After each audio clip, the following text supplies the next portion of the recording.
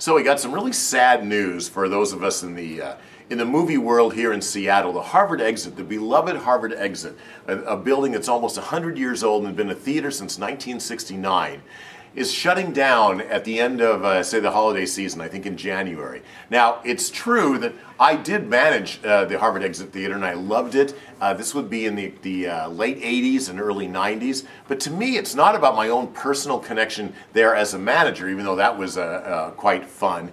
The, the greatest thing for me and the sadness for me is that I grew up here in town and I remember when that theater opened in 69, 70, 71, it was like the premier place for anybody who loved movies in town. It was an art house, it had this kind of a counterculture feel, and it was like the greatest it was just sort of the greatest atmosphere that you could possibly imagine for somebody who really valued film. They, they sort of created this, uh, the art house world. They would put, they had these big oaken tables and they would put big crocks of cheese for free and crackers and you had all the tea and coffee that you want. You could sort of serve yourself. And the great thing about this theater is it's an old converted women's century club, which was uh, built, uh, they erected it in 1925.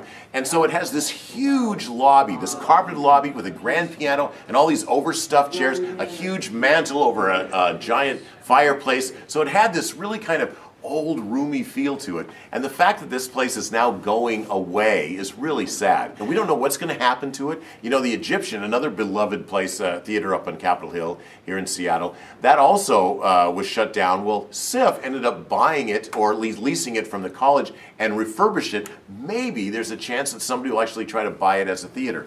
But it's just hard to compete with these uh, 10 plexes around. I don't know if it has a future as a movie theater, but those of us who have been there have very fond memories of it starting off. Uh, a guy named Jim Osteen was one of the original uh, theater owners. It was a, a, fantastic place to hang out and watch movies, and it still was part of the uh, film festival for all these years. I saw a bunch of movies there during uh, May and June for the uh, Seattle Film Festival, so it'll be hard to imagine that that place isn't going to be a place where we can all go.